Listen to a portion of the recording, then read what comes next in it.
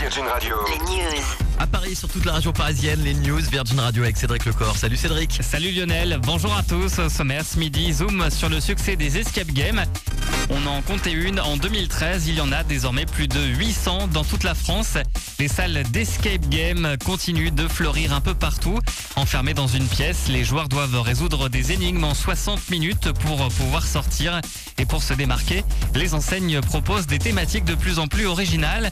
Rémi Prieur, spécialiste des escape games. Il y a des endroits vraiment insolites. hein. À Saint-Dié-des-Vosges, on a le parc Tellure, qui est un ancien parc minier, qui a fait un escape game dans un conduit de mine euh, à Moulins, dans la crypte d'une ancienne basilique, euh, qui change de l'ordinaire. Il y a le manoir de Paris, donc qui sont quand même euh, très réputés pour leur manoir des horreurs. Dans le coin de Saint-Malo, dans, à bord d'un bateau, voilà, il y a vraiment, il y a eu aussi à bord d'un train SNCF pendant le Paris-Lille et le Lille-Paris, il y avait une enquête d'escape game à résoudre. Et sachez qu'il existe aussi maintenant des escape games adaptés en bouquin pour jouer dans son salon.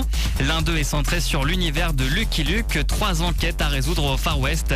Les précisions de Rémi Prieur, l'un des auteurs. Vous avez déjà un premier casse-tête. hein. La résolution de ce casse-tête va vous emmener vers une autre page. Après, de fil en aiguille, vous allez sauter de page en page en résolvant euh, les énigmes et en faisant les manipulations. Et donc l'idée, en fait, c'est aussi de plaire à la fois aux fans de Lucky Luke et euh, aux fans d'Escape Game. Les fans de Lucky Luke, déjà, on a fait en sorte qu'ils revoient l'univers qu'ils connaissent en reprenant aussi euh, des images de la bande dessinée. Donc d'avoir quelque chose qui puisse plaire justement au plus grand nombre. Escape game Lucky Luke, 18 euros aux éditions Mango.